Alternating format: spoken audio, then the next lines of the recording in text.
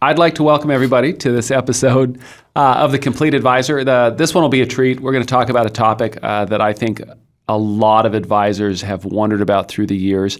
And we're going to talk about it with a person who knows it so very, very well and has a lot of experience and a lot of experience in the business. So, what we're going to talk about, we're going to talk about the case for radio. Mm-hmm. Okay. And uh, our special guest here, John Dombrowski from, uh, well, Scottsdale, which would be the Phoenix Metro. And you've been on radio for a very long time. Yeah, about 20 plus years. 20 plus, yeah. 20 plus years. So the gold standard, so a lot of people, when you think of radio and you think of, there's that dream. One, it's fun for mm-hmm. those of us that like to, you know, put headphones on and talk. To hear our voices. To hear our voices. Right. Uh, but there's that dream maybe of, you know, one day the, you know, getting picked up and being the next Dave Ramsey or, um, you know, all those different, all those different radio uh, and TV hosts. Uh, but the reality, I mean, the, the, reality is there's a lot of work, there's a lot of the backside to it, and that's what I want to explore. And so the first thing I want to do, uh, John, before we talk more about you, because you're a fascinating guy, oh, right. and you're an awesome guy too. Um, folks, you'll just have to take. You'll, you'll see that. I will make the case for radio, and we'll make the case for uh, John Dombrowski as well. But uh, so let's talk about the case for the radio, and and let's talk about the pros. Let's look at that. And I was doing a little bit of homework. Mm-hmm and so you're out there in the Phoenix metro, 4.8 million people. Um, big audience. Big audience. And you know, the interesting thing is the radio stations that you're on, I've got them up over here. Mm-hmm. Um, you, you're on a radio station, it's a KKNT and then KFYI. Mm-hmm. And, and another KQNA. KQ and A. Mm-hmm. Um, another, and with those, they are um, so one is more talk, one is uh, KKNT is the Patriot. I don't know if you knew. You actually, I bet you knew this, but um, in the Phoenix Metro, uh, there are. Uh, it's got a ten percent higher veteran population than the rest of the United States. Interesting. I didn't know that. So, how did you select? So, let's talk about how you made the decision to get on radio. So there was another advisor at one point that I met and was a part of uh, Creative uh, many, many years ago. And he was on radio, and he would, uh, when you would do your learn to earn programs that you would put on for mm-hmm. advisors mm-hmm. to be able to come out to Kansas City and uh, learn about what other advisors are doing. Uh, and we had a discussion about it, and I thought that that would be something I'd want to bring into my practice as another way to market. Mm-hmm. And so uh, after going back and forth with this individual, trying to understand how they were um, doing this. As you said, many advisors are interested in radio, but yep. but we don't know how to get started.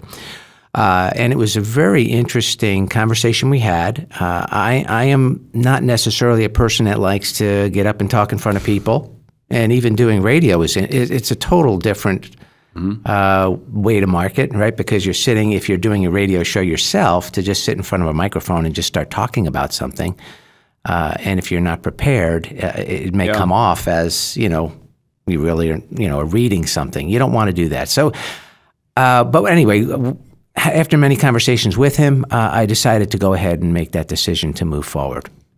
So when you decided to do that, mm-hmm.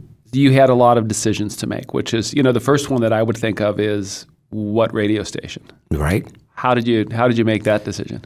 So again, this person was uh, broadcasting on a, a radio station that was talk radio rather mm-hmm. than uh, some type of a music lineup. A lot of the, the, stations out there, if it's if it's music, the challenge is is that they really don't have a slot for you for uh, talk radio. Yeah. And that's not their that's not what they do, right? Um, so you have to find a station first of all that is going to be open to talk radio. Mm-hmm. And uh, it is very uh, today. There's so many advisors out there doing radio. Yeah, there really you know are. there there wasn't 20 years ago when I was doing this. It was uh, limited. Uh, but today it's very common. So now it's just a question of, um, you know, the stations probably you want to be on because those are the stations you're listening to in your neighborhood, in your local area. Uh, but what we did was is um, we found a spot. It's interesting. We couldn't get a half hour. We couldn't get an hour because the time was all taken by the local stations. Yeah. But they had a way for us to negotiate about a five minute slot. Five minutes. Five minutes. So it was when one show ended at say seven fifty seven in the morning, or whatever the time was. And then the commercials ran for the mm-hmm. next three minutes to the top of the hour, and then they ran two minutes of commercials. So instead of running those five minutes of commercials, we bought five minutes of time.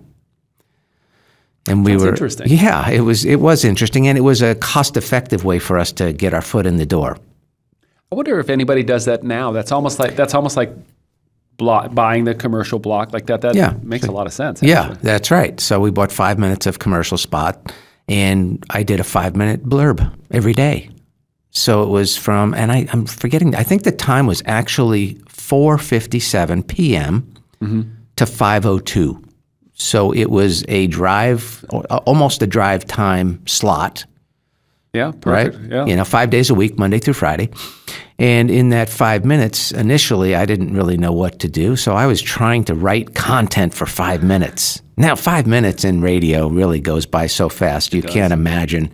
We've probably been talking for five minutes now, and it seems like a minute. yeah. Uh, so that five minutes was, I wanted to get so much into it.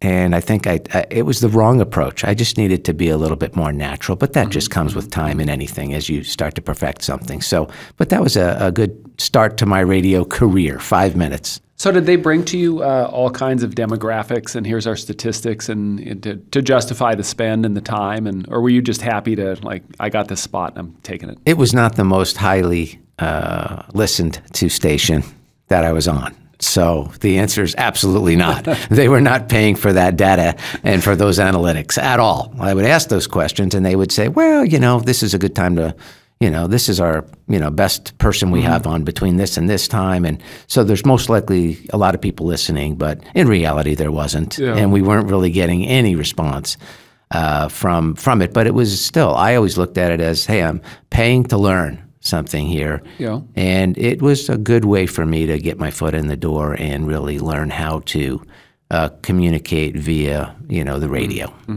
Now a little bit about you though. So I'm I'm gonna I'm gonna call quasi BS on something. I've never done this on the on a podcast. Um, your and uh, your comfort level and you being in front of people. Um, you're an amazing for people who don't know this, and I got to see this live. You are have an amazing singing voice. Uh oh. And Yeah. I'm not going to ask you to sing, Yeah. although if you wanted to. Um, but you are an amazing piano player too. Uh, do you think that played into maybe your comfort being on radio, your ability to perform, to to be out there like that? Uh, yeah, you almost in a way when when you're performing up on stage. If I was in, you know, playing piano or singing, whatever, I, I'm behind something. You know, so you kind of have a little bit of shelter, as it would be. Um, but I would say with radio, what was different about the radio is it's it's a little lonely out there. You're kind of out on an island if you're if you're talking uh, by yourself. Right now, this is an easy easy uh, way for us to do some type of a um, whether it's a radio show or the podcast that you're doing right now, which I think is fantastic for advisors to be able to uh, learn from people who have been in the industry for some time. And I, I enjoy it. I listen to your podcasts, and and I I learn from the people who have been in business, whether it's been for a shorter period of time than me or a longer period of time than me. You know, we all get caught in our routine and our ruts, uh, but there are certainly things we can gather from just about everyone, and so it's great to to learn. Well, let's talk about uh, let's talk about content because I am in the grand scheme of things, content and there's there's a ton of work which I'm going to ask you about that the, you know the backside of what goes on backstage. But I was listening to your uh, show this morning. I was listening to the latest episode, and you talked about. Um, so we're we're rolling into tax time. We're, we're we're right at that season, and in fact, that episode was I think on the 15th. It was itself. yeah, it was on April fifteenth, right? And so you talked a little bit about taxes. You then you talked about some current event things. Uh, you talked about um, banking, and what I liked about it is you talked about banking as it would. What did it mean to me, Mm-hmm. me personally? And then you also talked about uh, USB or the uh, charging, uh, the charging stations. which Oh, I think right, I brought that up. Yeah, that's I did read an article about that, right? Somebody told me I, I read a thing once that said that if you use public Wi-Fi, it's like uh, it's like picking up a toothbrush on the floor of an airport and putting it in your mouth. That's how safe it is. uh, but so the con- but content. Right. Where are you coming up with content? Because that's a lot of work right there. It is. Um, I would say that there is a lot to talk about. Um, and believe it or not, I think the content probably isn't as important as many people would think. It's more about a perspective that maybe you could put on whatever that content is mm-hmm. and how you could allow people to receive that information and maybe use it in their own personal life. So, talking about something as simple as uh, not plugging in your phone and into the airport receptacle, the mm-hmm. UBS mm-hmm. receptacle. Is it USB? USB, USB. We just we just smeared a bank. USB. uh, you, you don't want to do that. They're saying take that and get your regular plug and plug it into an outlet. Because there's now apparently uh, people have figured out how to infiltrate and uh, potentially spread a virus through the USB Yep. uh, ports in airports or in hotels. You know, in the lamp at a hotel, you can plug your phone in. Uh, Don't do that. They're saying. Um, so it's it's just that in itself, being able to talk about that on a financial radio show, it doesn't make any sense. But I get feedback from that from people sending me an email. Hey, thanks for that tip, or that was great. Even you just brought it up. It's like, wow, okay, I didn't think of that. But um, so it doesn't all have to be about financial issues. It can be about day to day issues. Yeah, because you yeah I, I think that's great because as an advisor you're you're t- it, it, you can only talk about money and alpha and you know 60 40 70 30 for so long um, and that's something that somebody can find anywhere but to to have a conversation about what that bank what banking issues mean to me especially since you guys are out closer in proximity maybe I don't know if that made more headlines out your way because uh, Probably Phoenix- not. It was national, but um, but it's certainly something people are concerned about. You know, the banks. People are up constantly getting questions about, hey, um, is it true that the government's going to seize my 401k? I mean, I that is a that's a a, a scary thought. Uh, but uh, you know, I try to assure people that I don't believe that's going to be the case. yeah Uh, but uh, they people read things, they hear things, uh, and the news is a dangerous place You know, sometimes. It really we're at a we're at a time where more people have more access to more information, which this should be like a golden age. And then at the same time, with all that, you have the opportunity to spread misinformation. I, I was talking to my mom, and she's uh, you know she's very old school and thinks that you know the internet is you know if you make eye contact with the internet, it's going to steal your soul, damn near. And uh, I've I've always said to her that you know the scams, a lot of the scams are the same. It's just the delivery method has changed. right. You know, a Ponzi scheme before uh, in a letter is now a Ponzi scheme that maybe comes in email, et cetera. The one that scares me off topic, since we were talking about the USB ports, is the only time I use my credit card to is when I get gas. And I know that I, there's I've seen warnings where people can put a fake like a, a little mount on there that actually when it goes when you use your card it takes your information Right. and then they can just pull that off later. Wow. Um, so there's maybe a radio topic right there. Could be, yeah. Because otherwise, I don't think I. I don't. Unless you have an electric car, you don't have to worry about that. That's true. That's true. So I'm there, there's there's that that's the whole idea and the principle behind having electric cars that people can't steal your, your information at gas pumps anymore. Yeah, but you have to plug that into a USB though. You got, that's how you're charging that That's car. how you charge the car. That's how you charge it. So with content, so here's Yes. a question for you. With content, um, I was reading an article, and one of the things that this article was talking about, it was the Wall Street Journal. It was talking about compliance, but it mentioned this in a different a different um, vein that I hadn't thought of. It said compliance exposure. And where they were going with it, they were talking about one compliance, making sure everything's you're you're complied, uh, but then also with that visibility, for uh, for the audience visibility at the same time you've got maybe regulator visibility. How do you do your compliance? Um, do you just personally just keep it up at a high make sure you're at 10000 feet or do you run it by somebody or? So some of my radio is live, so it's difficult to run that through compliance. Sure. Right, because you never know. Like we're talking today, we're talking about many things that it'd be impossible to, unless we had an absolute script that we're Yeah, going to stick to, which which would be boring. which you can't do. So um, I think you just over time you have to learn that uh, what you can and what you can't say. Of course, you can't ever guarantee anything. You can't. Uh, you don't want to state statistics unless you can back those up, right? Well, I, I wrote mine down. or articles maybe that you're referencing. I may talk about a CNBC article or a Wall Street Journal, as you just mentioned, article. Um, so it's not me, may, maybe that's saying that. Yeah, I mean, it may be Yeah. repeating it, but the data is coming from, you know, a, a reliable source, or, or at least a source that you're noting. So, and then also all of our radio spots, whether it's a commercial or it's a live spot or it's a show, all get sent back to compliance.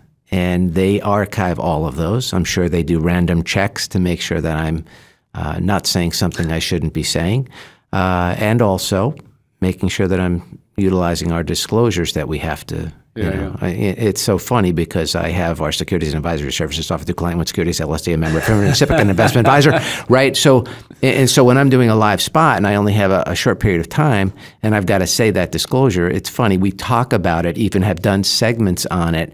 Why I have to say that disclosure, number one. But why am I saying it so fast at times? Well, it's because we only have this this couple of minutes to talk about, and I'm not going to do a 30 second disclosure. I'm going to do it in five seconds. You know, that's my goal is to get that disclosure in five seconds live. Uh, That's a mouthful live. that is a mouthful, and it wasn't. Now it's not client one anymore. It's creative one. I'm sorry, securities. We have a we have a swear jar uh, version of that that when, we, when we switch the names, you got to put a Uh-huh. Dollar in. I still once once that gets in my head, then it's hard for me to not say the old name Right.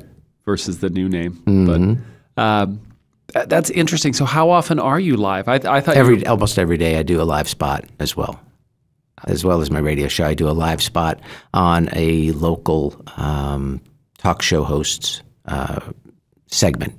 I'll get in there and I'll do a live spot, and I could do more if I want to. I mean, I have good relationships with all the radio stations because of you know what I've uh, you know been working with them for all these years. Uh, the other thing is is that if there's a, a big event that occurred, like when we had uh, COVID hit, or if we had a major drop in the stock market, or when we had the bank failure, I could usually pick up the phone, call one of the radio stations, and say, "Hey, look, um, this just happened. Do you want me to come on and talk about it uh, at any time throughout the day?" And oftentimes, I'll get a hit back from you know one of the local talk show hosts, uh, and they they'll put me in for five minutes or whatever it's going to be. Yeah, just to talk about that.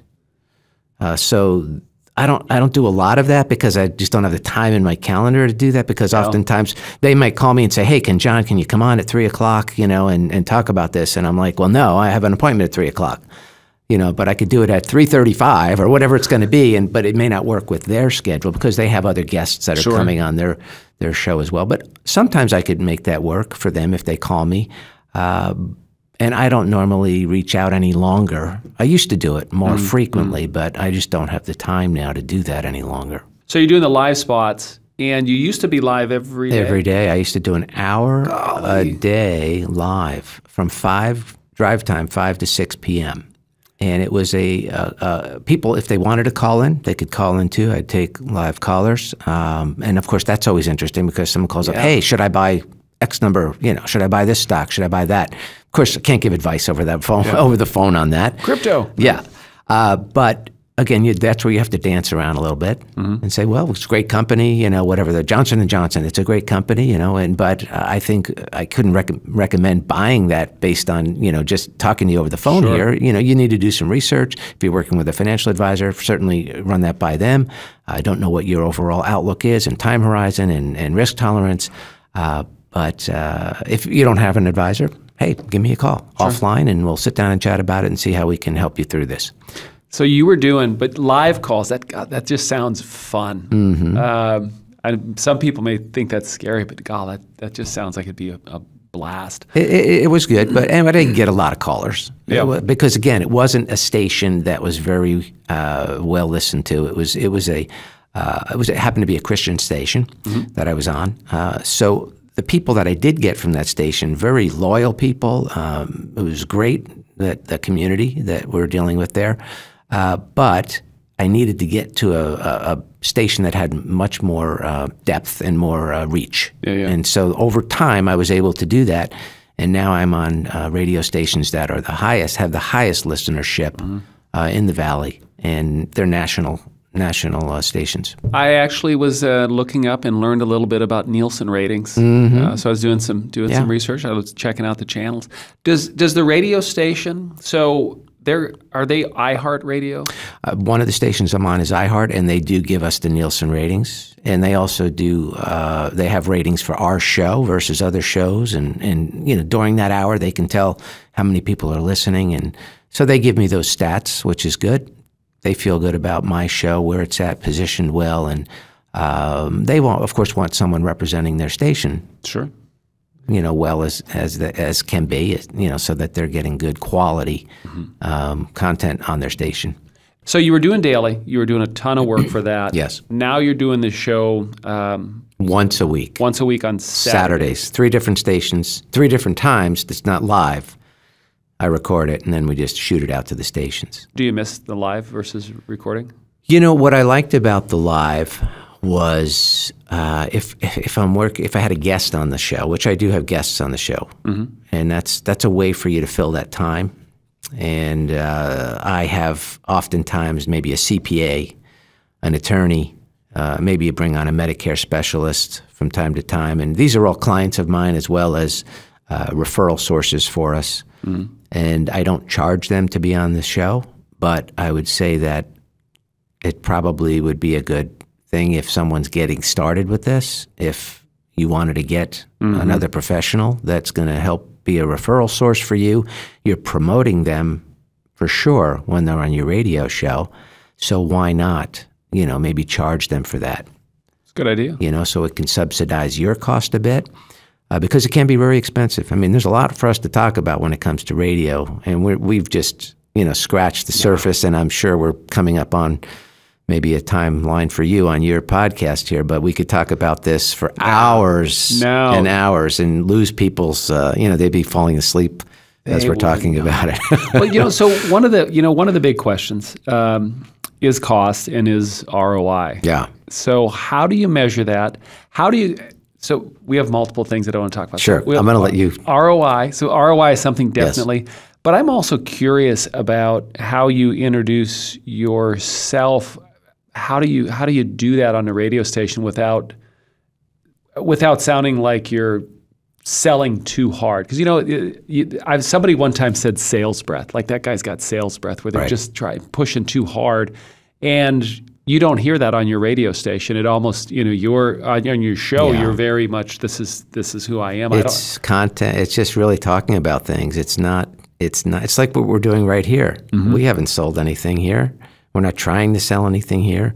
We're just talking, and that is, I think, what you have to do to talk to the people out there instead of. I, I listen to some, um, and I always joke about this, which is on a Saturday, uh, you have probably ten different financial advisors doing a radio show. And so, how do you differentiate yourself from that? And I try to listen to some of these shows, and it's very difficult for me to listen. And maybe people say that about my show. I don't know, but but I would say it's very difficult for me to listen to some of them talk in such a monotone voice about annuities, as an example. Okay, and that's what they're selling. You absolutely know that's what they're selling. And uh, and I always question myself, thinking, "Gee, am I doing something wrong? Should I be doing that? Are they getting better results than me?" Because that's they're talking about one product, one thing, and maybe that's what people want to listen to for an hour. I don't know, but I know not so sure. I'm I would be I am so bored listening to that that I turn it off. I try to keep it on, but I just can't do it. So um, I, I I pick four topics to talk about, five topics to talk about during that hour. And one might be about a USB port in an airport. Another might be about, hey, it's tax filing deadline coming up on Tuesday uh, you know, this year. Hopefully, you've done all the things you needed to do, and if you haven't, make sure you still at least pay your taxes and file that extension so that you're not gonna, you know, that has nothing to do with me, you know, offering a, client, yeah. product. Yeah. But what it does do is it starts to show people that I'm a real person. I'm just talking in general about things. And then at the end of that segment, though, They're going to hear, "Hi, this is John Dombrowski again. Hey, just as always, if you've got questions, anything financial, pick up that phone, give me a call at this number or that number, and check. If you have a question for me, uh, send me a Dear John email to dearjohn at thewordonwealth.com. And, uh, you know, so that's just a little bit of some way for them to get a hold of me. If you'd like to schedule a complimentary consultation, just pick up the phone, give us a shout, go to our website, send me an email. You know, so mm-hmm. at the end, so that's that last 15 seconds of that segment, they're going to get a little something. And then on the opening, it's the same thing. So there's my call to action. Uh, when I open, hey, we're back. John Dombrowski here. This is the Word on Wealth. Again, just a real quick, a couple ways to get a hold of me, mm-hmm. and then into the topic. So do you are you able to see or track? I mean, tracking those dollars that you're spending mm-hmm. back to a client is is it something you're able to do easily, or is it you know a lot of times people listen, listen, listen, listen, and then finally come in because they they know you and trust you, and and and so it's hard to pinpoint exactly maybe what show or or maybe We what ask. channel. We ask. You? you know, we that's part of our when people walk in the door. You know, you go into a doctor's office, they give you the the uh, clipboard, and we do the same thing. They get a clipboard when they walk into the office, and we ask them to fill out the general information, the name, the address, the phone numbers. We ask for social security, dates of birth. Some people put them down, some don't. Perfectly fine. Uh, whatever information they give us at that open, we take. Uh, and then during our um, you know initial meeting, we're asking more and more questions, getting more and more information. Uh, and one of those important questions is, is how did you hear about us? And it's, uh, oh, oh, radio. Okay, well, what stations do you listen to? And we have that on the questionnaire that they're filling out. They heard us on this or that station. So we can kind of pinpoint that. But the thing is, is we do so much advertising and, you know, all over that oftentimes they check all the boxes. I've heard you on this, I've heard you on that, I've seen your ad, I've, you know, uh, someone told me about you. Uh, So, it's it's hard to really then understand exactly where that came from. And then your other question was how do you track the ROI on it? Yeah. Uh, and we certainly can do that as well. We of course input everything into our system, and we can run the reports of of, of where the money came from, how much we've made on a client, um, and we know how much we spend because those credit card bills have to get paid every month. And radio is without going into specific numbers, but it's expensive. It's expensive. You have to have a, a, a, a stomach for that that budget that you're going to have to create for radio. It's if you want to do a radio show. Now you can minimize that expense if you want to, maybe by just running commercials rather than doing a radio show, because you're buying an hour of time four times a month. It's Oh. expensive. So selling the commercials to uh, sounds so naive, but selling the commercials can you can you You could sublet? You could sell sell some time throughout your show uh, if you wanted to sell commercials. But I'm talking about you could instead of doing a radio show, if you want to do radio, you could just do commercials and buy commercial time. And if you want to buy 20 commercial spots, 20 minutes a week, maybe four to five spots a day, uh, you can do that. So that's a way to get started in radio. Just do a, a minute commercial, or even a two minute commercial, or even a three minute commercial if you wanted to, as we talked earlier, uh, where you talk about a specific topic. And it could be, you know, hey, this is Mark Smith with your uh, Mark Smith Financial Group, mm, you know, financial minute or financial, you know, uh, moment, whatever it's going to be, and you talk about a specific topic. You know, today I just wanted to drop in and talk about X, Y, and Z. And uh, if you have questions about this and want to learn more about it, hey, give us a call or go to our website. So it can be a quick uh, introduction, get your name out there, and but be consistent with it. And if you're gonna do radio, I would say, like any other marketing strategy, make a commitment of time Yeah. that you're going to do it for, no matter what the result, because it's going to take time. You know, I was going to ask you about that because uh, there's a. I know that when I when you look up how many financial advisors are on radio you know, in a given metro, it's a lot. It's a lot. But the real question, you know, is who's been there? How long have they been there? You know, I, I, that was one thing I was curious about. That I don't know that you and I have the answer for. Probably but, not, But yeah. you know, how long? What's what's the average duration of somebody? When do they when did they give up? Did you have moments of wavering? Yeah. So I used to do the five day a week show, mm-hmm. and then I had also Saturdays. So I was doing six days of radio. The five day a week show probably brought me less revenue mm-hmm. than the Saturday show did. Mm. So for the longest time, I kept that five days a week on a lower listenership station, but I still did it, even though I knew I wasn't getting the results. It was still a way for me to get my name out there. Sure. And so I looked at it more as a form of branding and advertising rather than really a call to action. Um, and it also was helping me learn and learn and learn and get better and better and better at what I did. So, but at, once I got to a point where I was so busy, I just couldn't do five days a week anymore. It just it became too much of a burden. It's a lot. That's a ton Yeah. of work. I Yeah. can I I can vaguely imagine. Yeah. So I would run from an appointment, get into the booth, and I'd just start talking for an hour. It wasn't even it wasn't even uh, something that I was preparing for any longer. It was just too hard. I didn't have the time.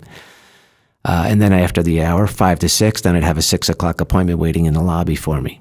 And so I'd do the six o'clock appointment and then, you know, start over all day, you know, the next day. It was a Groundhog Day kind of thing. Uh, so eventually, when I did let go of that, I felt so good. It was just, Well, it, it had to have been hard Yeah. to let it go though. it was extremely hard to let it go because it was a great time, that five to six time, Fun. as well as, uh, you know, it was just I've been doing it for so long. Yeah. So, Now we hadn't talked about your practice, but um, you have a, an amazing, successful practice. Um, you've got a great staff. You've got uh, you've got great office dogs. Mm-hmm. Uh, you have an amazing wife that uh, just such a supportive part of the team as well. Yeah, she Yeah. works at the office as well. Yeah. As you look forward with radio, one of the things that I know that um, in my wife's car she has uh, that Sirius uh, XM, Sat- yeah, the XM. Mm-hmm. satellite radio. How big of a challenge do you think that's going to be? What do you think that's going to mean for the uh, advisor radio market?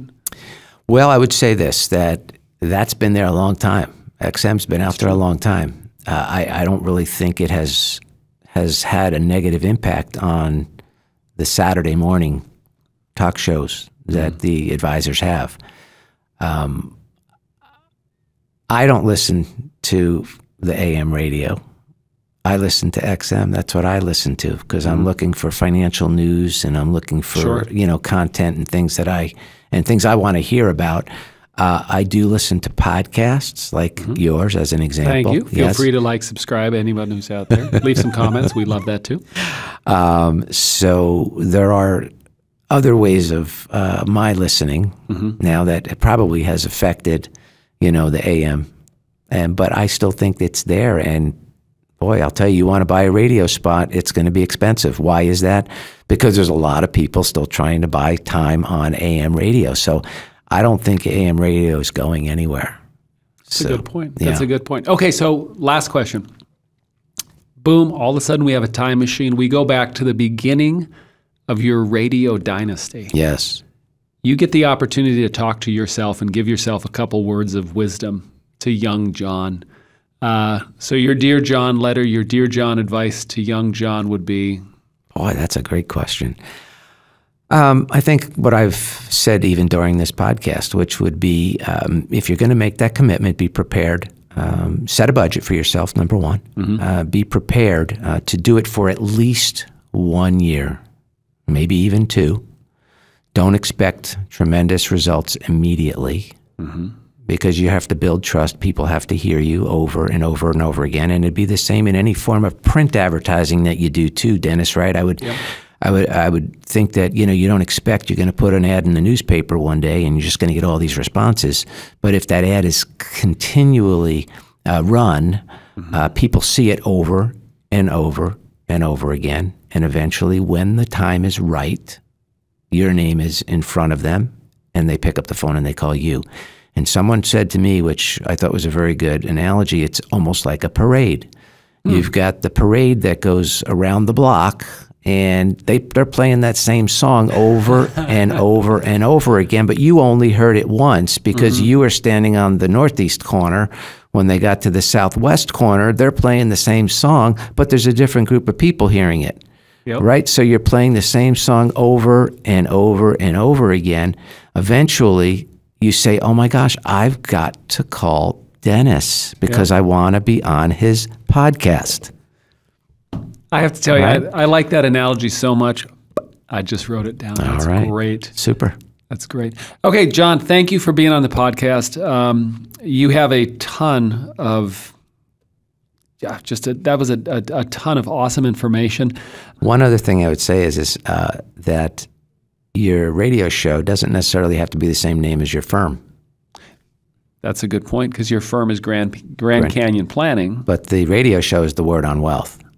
So they could be two separate things, you know. So it doesn't have to, but it could be sponsored by, Exactly. you know, Grand, brought to you by Grand Canyon Planning. I don't know how many people would tune into like Mattern Financial uh, versus versus the word on wealth. Yeah. I mean, the one catchy title and Well, and, uh, it was on a Christian station originally, the word on wealth. So it was it was kind of a play on words there. very nice, John. Thanks for being on here. Thanks, Uh, Dennis. Appreciate uh, it. I know I'm going to catch you for another episode, and then anytime you're uh, coming through that chair, there's a spot right there. Maybe we can get a piano in. Oh no, play a little bit. no, no, no. Um, for everybody else, uh, thanks for tuning in. And uh, don't forget, like, subscribe, send an email to your friends and say, check out this episode. Uh, put it in a letter. Uh, but we're on everywhere. So anything from uh, Apple, uh, Amazon, Google, Spotify. You can catch us on YouTube. You can watch us there. Uh, but feel free to shoot comments. Uh, I would love to know what you're thinking. And uh, feel free. Oh, also, golly, uh, go ahead and review us and, and rate us. That would be great too. So, John, thanks for being on here. Thank you, Dennis. Appreciate it. This podcast is for financial professional use only and not for use with the general public. The information provided is the exclusive property of Creative One and is protected by copyright and other intellectual property laws of the United States. This material has been prepared for informational and educational purposes only. It is not intended to provide, and should not be relied upon for, accounting, legal, tax or investment advice. Creative One is not responsible for the results of programs discussed on this podcast or any liability stemming from the use of it. Although we may promote or recommend the services offered by this company, agents are ultimately responsible for the use of any materials or services and agree to comply with the compliance requirements of their broker-dealer and registered investment advisor, if applicable, and the insurance carriers they represent. Copyright 2022, Creative One Marketing Corporation.